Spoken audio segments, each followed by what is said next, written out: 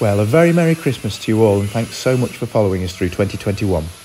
I thought I'd give you a little glimpse behind the scenes here in the workshop to show you some of the things that have gone on over the last couple of weeks in the run up to Christmas.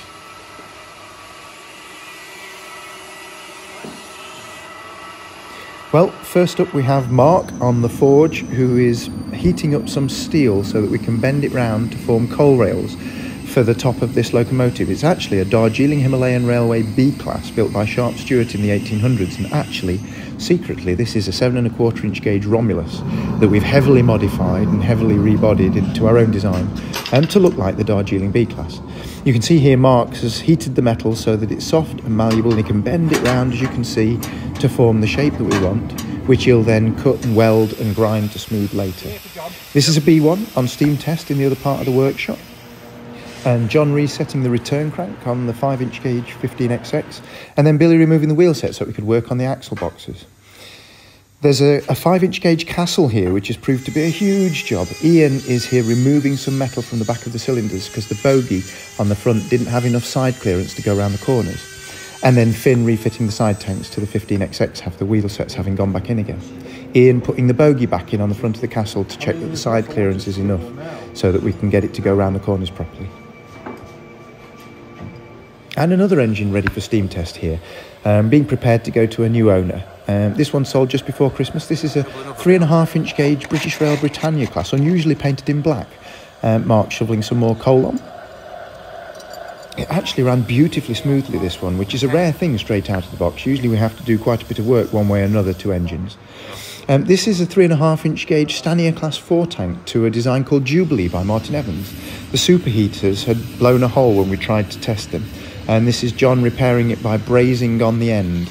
Um, I think we shortened them and then brazed the end on a little bit closer up, and this is John doing that job.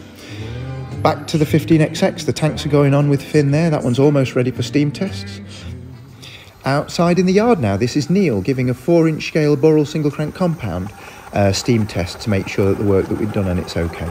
There wasn't much to do on this one, resetting safety valves. The regulator, as we seem to find is always the way with 4 inch scale traction engines, wouldn't seat properly, so we put a new face in there and made that work again. But a cracking engine still for sale on the website. This is the Class 4 tank running on air, just to make sure everything was okay in the workshop there. Um, this is John and Dave on the two lathes, not sure what they're doing. Um, John is making a bush by the looks of it for the full size Fowler locomotive that we're restoring.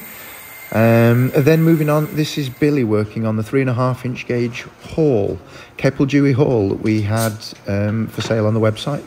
And it's been bought and it's being prepared ready for a new owner.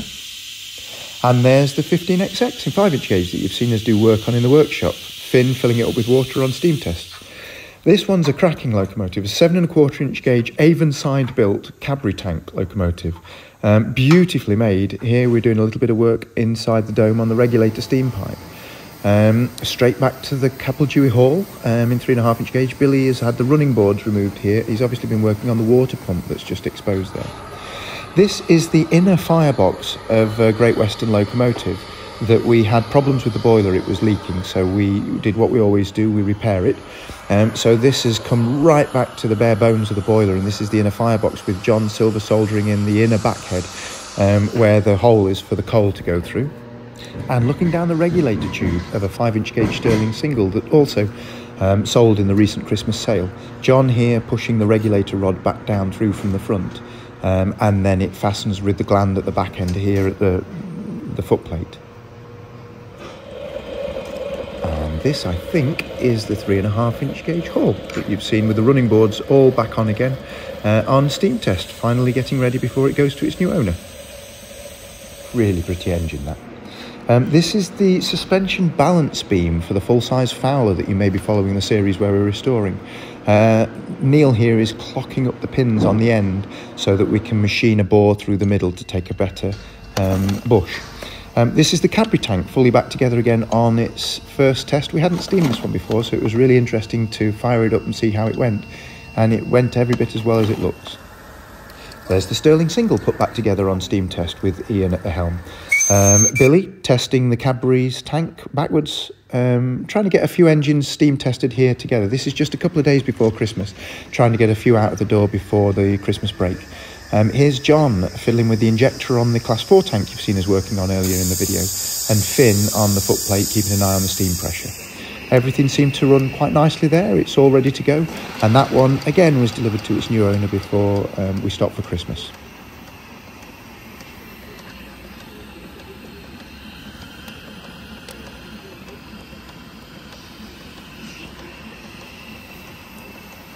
On the footplate now of the uh, seven and a quarter inch gauge Cadbury's Avonside Loco. I thought you might like this because it's a beautiful engine. You can see exactly how it works and how it's driven. There's the fire. Um, quite a low fire because it steams extremely freely. Opening the regulator, you can see the steam comes out through the drain cocks and as it does it gradually starts pushing the pistons back and starts to accelerate the engine. This is really quite a nice scale model, even the things like the windows open just like they would on the full size and it, it almost feels like you're on a full size engine when you're inside the footplate of a detailed model like this.